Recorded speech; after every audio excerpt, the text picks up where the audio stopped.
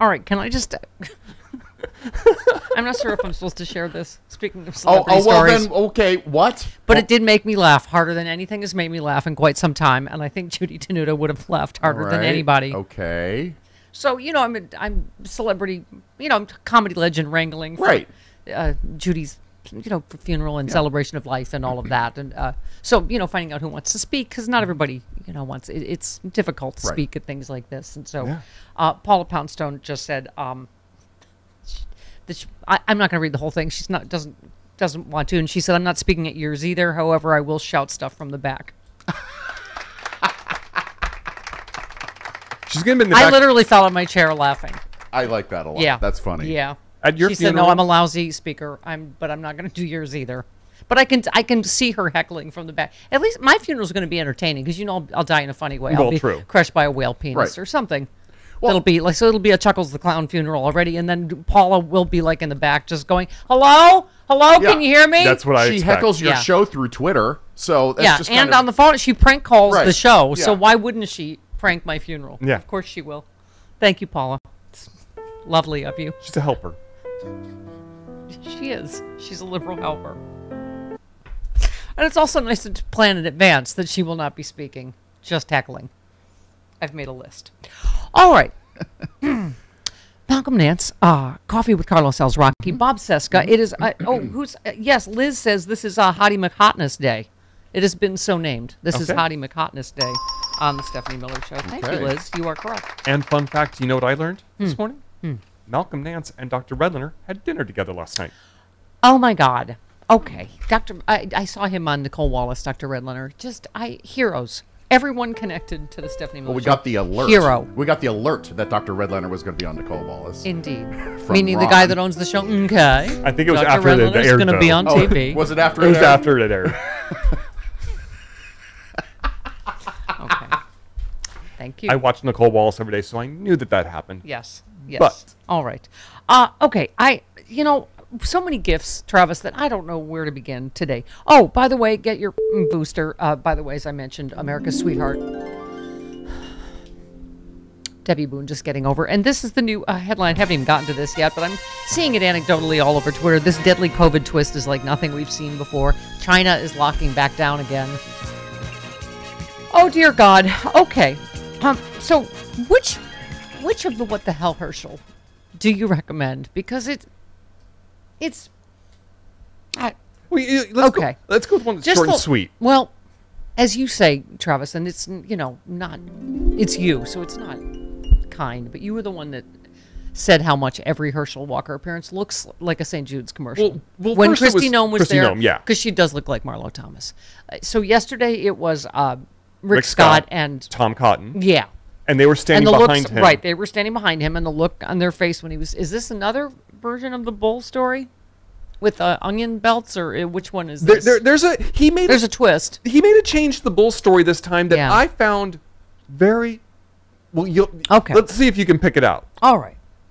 Okay. This is and uh, then, uh, this is the uh, and then there's a story about a bear. Okay, so let's start with the this would be uh 20. clip twenty. Yeah, okay. as they've been saying, something is better somewhere else. And I'm here to tell you it's not. So I've been telling this little story about this bull out in the field with six cows. And three of them are pregnant. So you know he got something going on. But all he cared about is kept his nose against the fence, looking at three other cows that then belonged to him. Now all he had to do is eat grass. But no, no, no, he thought something was better somewhere else. So he decided, I want to get over there. So one day he measured that fence up. And he said, I think I can jump this. So that day came where he got back. And he got back, and as he took off running, he dove over that fence, and his belly got cut up onto the bottom. But as he made it over on the other side, he shook it off and got so excited about it. And he ran to the top of that hill, but when he got up there, he realized they were bulls too. So what I'm telling you, don't think something is better somewhere else. Oh my god. Did you um, notice the difference? No, No, I don't pay that much that close attention to Herschel no, Walker. and also what?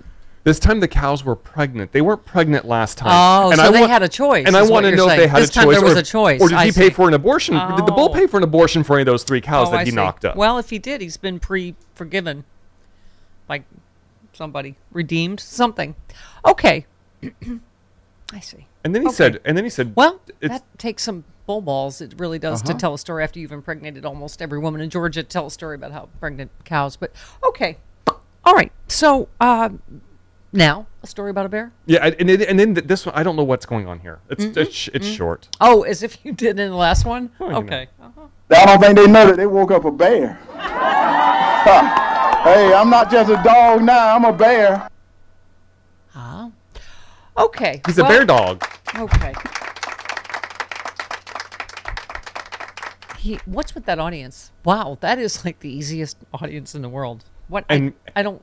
And meanwhile, Rick Scott and Tom Cotton are standing behind him like they're the doctors at St. Jude's. Yes. Who are really proud about how he's doing Yeah. in the real world. Well, Rick Scott always has that like Skeletor stare, but he was particularly just like, mm, mm, this is our candidate, and then like D- Tom Cotton's, um, you know, Adam's apple. yeah, that little bobble-throated, uh, you know, slap thing, as Charlie Pierce calls it. It was kind of right. Yeah.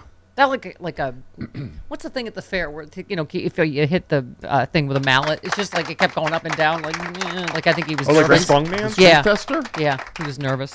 He was nervous because maybe Herschel Walker is perhaps not the best uh, Public speaker? candidate. Yes, anything carbon carbon based life form. Man, Father. man, father, husband, candidate. Yes, I was just going to allege that Tom Cotton's not comfortable around back, black people. You think so? I I mean, it could be. Yeah. He doesn't That's cotton, probably he, the longest. He doesn't distance. cotton to black people? No. What? What? Oh, see, just the word cotton in there is already sounds like you were saying something, and I His forgot la- his just last name. name- I get it. Yeah, Oh my but it God. sounded racist, and I just, you know what? I, I just, I feel like this segment is already very inappropriate. Okay, let's. Chris, Oh, dear.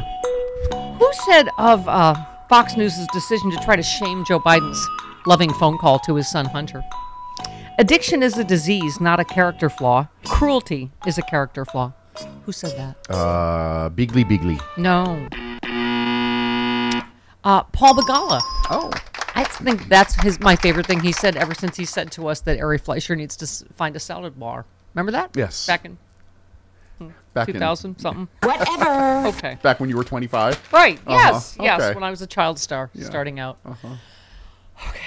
All right. Well, uh, where do we start? Yeah, this has been a, a year. Can I just say? Um, Tess said my favorite fact about Angela Lansbury is that her murder she, during her murder she wrote era, she made it a practice to hire guest actors uh, of the golden age that had aged out of the game because it allowed them to earn the union points they needed for insurance, pensions, etc.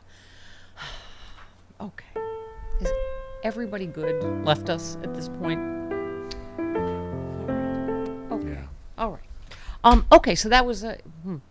What are you? You're staring at me. You brought the room down. I'm sorry. Yeah. I- sorry. My I mean, we were laughing about Herschel Walker Yeah. and bulls All right. and bears and dogs, and now you have to bring in death Right. I It's like, wow. sorry. and I- despair. Oh my God. Apologize. Uh, Steve sums it up for us. The Fox News definition of a good father, Herschel Walker, abandons his kids, pays for an abortion, beats his wife. The Fox News definition of a, a bad father, Joe Biden, pleads with his son to get help, pays for his son's treatment, tells his son he loves him.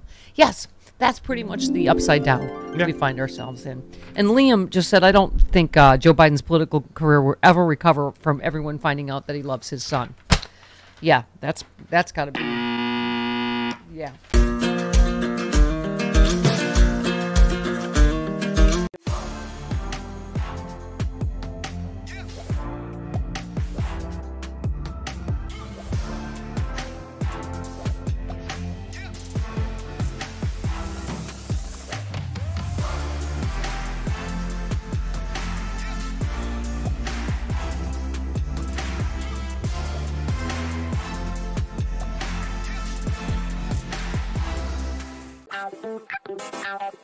Thank